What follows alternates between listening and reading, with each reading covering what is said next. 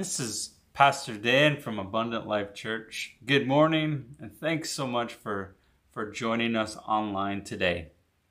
I just wanted to, to let you know of, a, of an exciting event happening tonight live on our Facebook page. It's going to be our Refresh Worship Night at 6 o'clock p.m. And we really hope that you'll join us. It's just a great time of refreshing through music and through scripture. So please join us tonight at 6 p.m. live on our Facebook page. Growing up, I loved to play soccer. I played it for many years. And normally when I played soccer, I loved to play defense. But remember, I remember one time in public school, I asked my soccer coach if I could try out at goalie. And he was like, sure. He always wanted to give opportunities to to his players. So he said, absolutely. We have a tournament coming up. This would be a great opportunity for you to try out in, in goal. I was so excited. I practiced and practiced. I was doing so great. Uh, and, and all the rest of my team was like, oh man, we're going to do so well in this tournament. Well, we get to the tournament. We get into our first game and, and we're up against one of our rival public schools. And the game goes along, and for whatever reason, our team kind of just falls apart, collapses. And and they just keep coming and coming and and in the game we lose badly. Like 10 nothing was the final score. And I'm sitting on the sidelines, I'm dejected, I'm just ah, I was so excited to play goal, and we lost 10 nothing. And my coach comes over to me and he and he sits down and, and he's like, How you doing? How am I doing? We just lost 10 nothing and it's all my fault. And he's like, No. You didn't lose this game. We all lost this game. I lost this game. And the coach uh, assured me that this was a loss for the whole team. I didn't lose the game, we all lost together. And he let me know that in the next game, I would be starting again. And in that game, we came out on top. It was a great, great game. But my coach taught me that day about loyalty, about being loyal to one another, even when you're losing even when the game doesn't go the way that you thought it would go. The word loyalty is actually defined as a strong feeling of support or allegiance. And this morning I'm going to read a story in the Bible or some, some scripture verses in the Bible. They're going to talk about three guys who were loyal to God despite the unfairness of their circumstances. So let me just read it for you it's in Hebrews chapter 11, verses 17 to 22. It says this It was by faith that Abraham offered Isaac as a sacrifice when God was testing him. Abraham, who had received God's promises, was ready to sacrifice his only son Isaac, though God had promised him, Isaac is the son through whom your descendants will be counted. Abraham assumed that if Isaac died, God was able to bring him back to life again. And in a sense, Abraham did receive his son back from the dead. It was by faith that Isaac blessed his two sons, Jacob and Esau. He had confidence in what God was going to do in the future. It was by faith that Jacob, when he was old and dying, blessed each of Joseph's sons and bowed in worship as he leaned on his staff. And it was by faith that Joseph, when he was about to die, confidently spoke of God's bringing the people of Israel out of Egypt. He was so sure of it that he commanded them to carry his bones with them when they left. Now, the first thing that we see here is that Abraham remained loyal to God when sacrifice was required.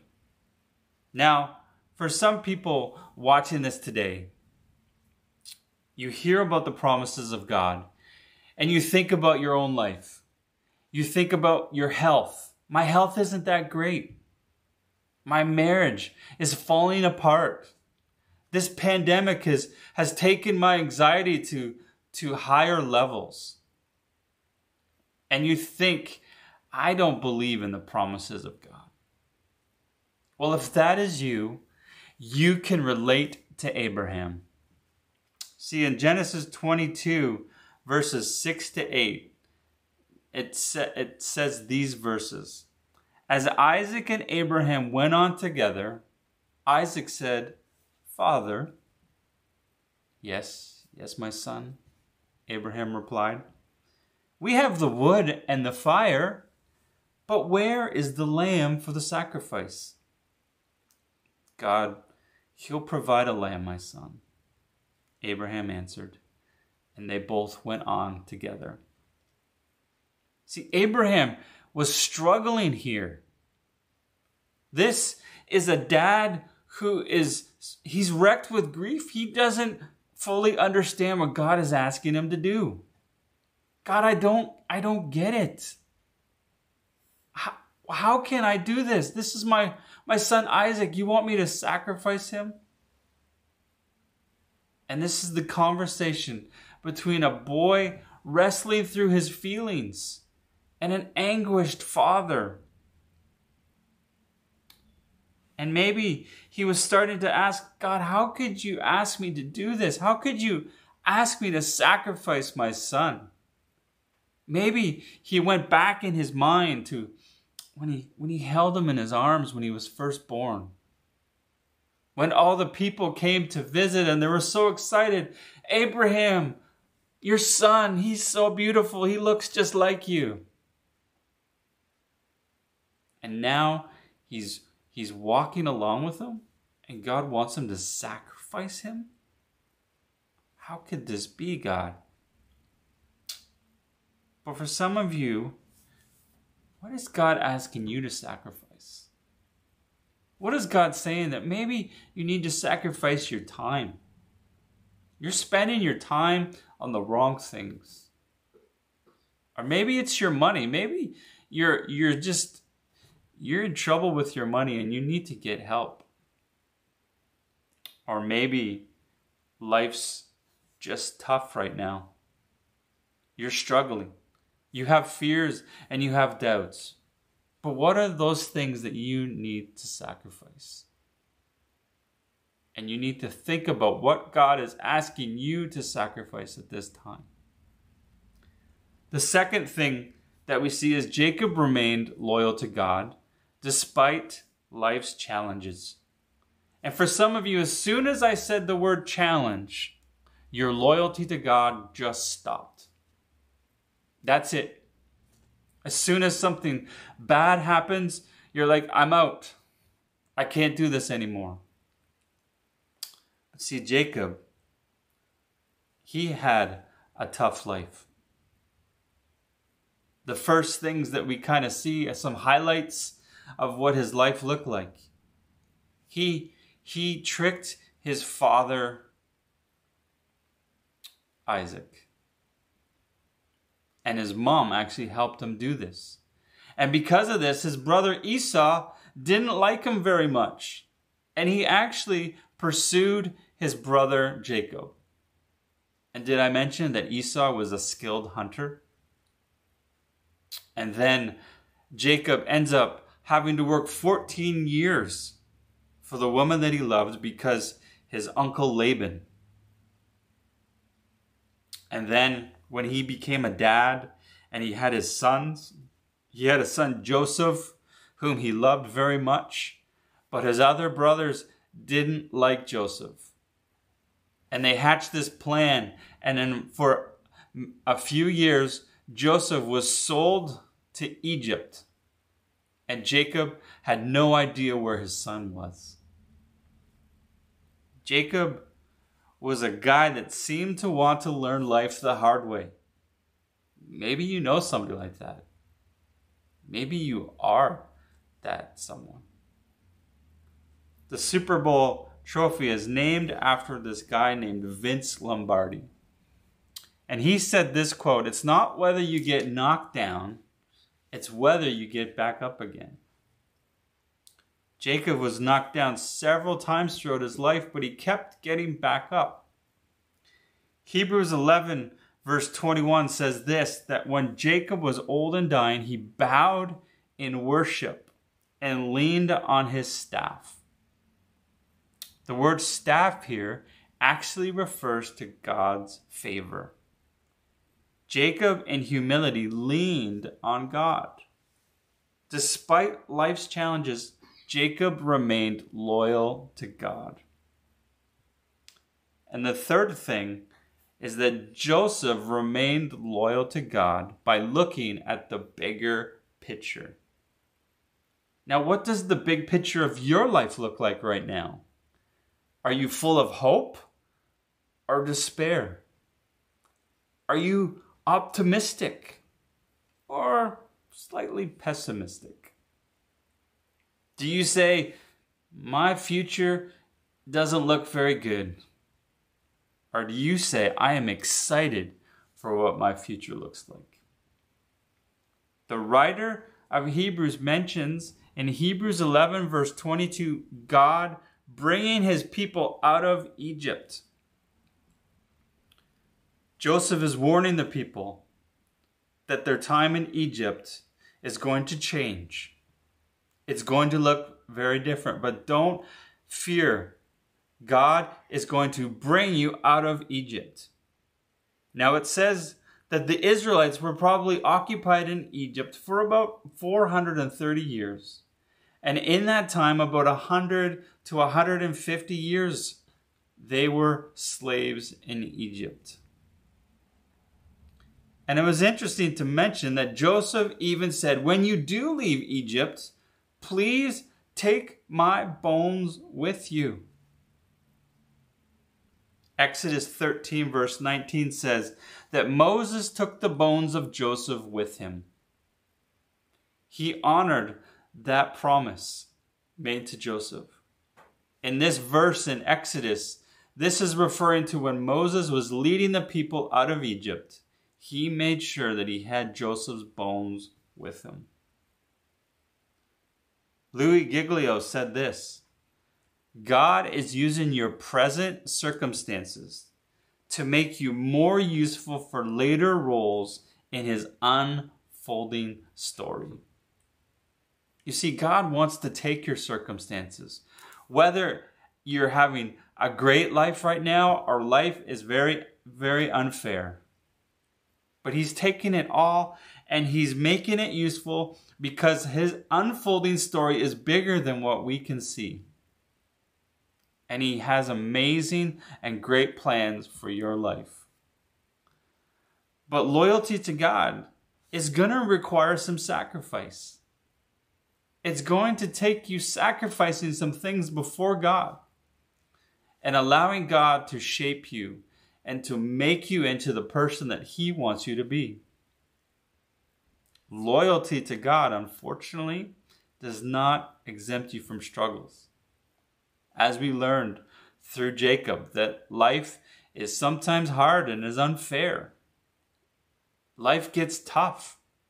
I can I can relate to that. Life is not always easy, but I know that being loyal to God, life is always better and loyalty to God will give you a glimpse of the big picture.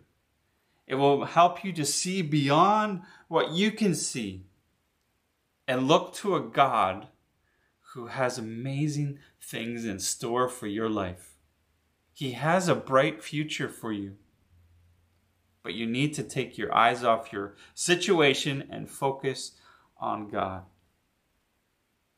There is a a great worship song called Lord, I Need You.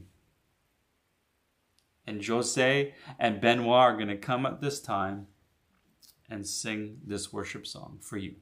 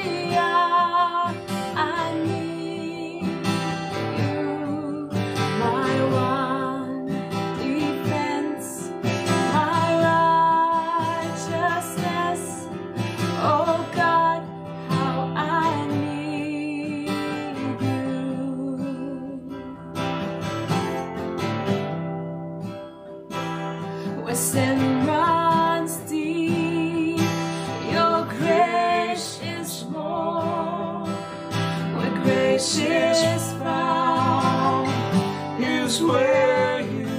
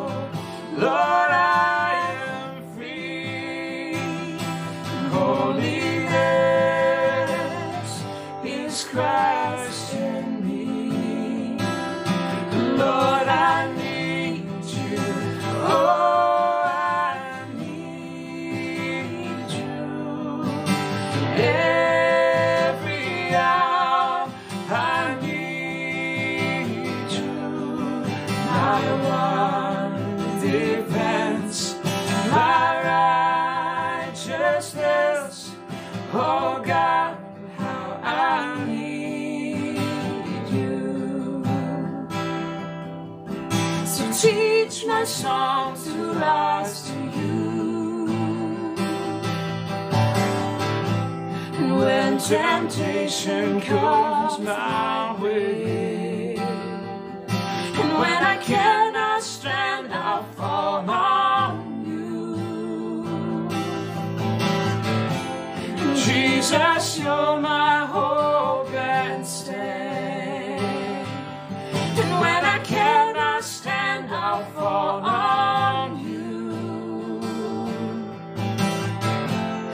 Jesus, you're my